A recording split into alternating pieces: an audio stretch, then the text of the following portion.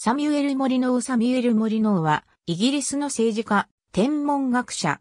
父は工学について、著書のあることで知られるウィリアム・モリノーである。チスターに生まれた。ダブリン大学のトリニティカレッジで学び、1712年から王立協会の会員となった。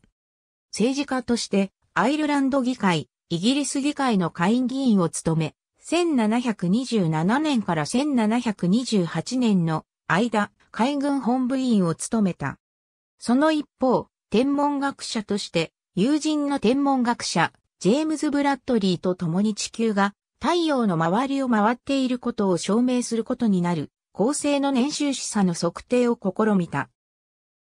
二人は、ロバート・フックが1674年に年収視差を観測したとした流座ガンマ星をより改良された望遠鏡で観測しようとした。ロンドンのジョージ・グラハムの制作した天長儀で1725年から測定を始めた。測定の結果はその方向が地球の位置の移動から予想される方向とは異なる方向であった。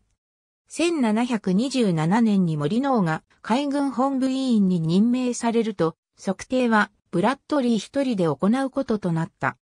翌1728年、ブラッドリーはこの構成の見かけの動きが観測者の移動により、天体の位置が移動方向にずれて見える高校差によるものであると結論した。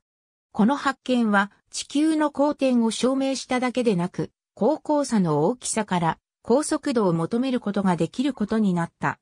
森脳は同年に会員で倒れ、旧の自宅で亡死した。過労による脳疾患が原因だと考えられている。天長儀があった彼の自宅は死後に取り壊されて現存しない。ありがとうございます。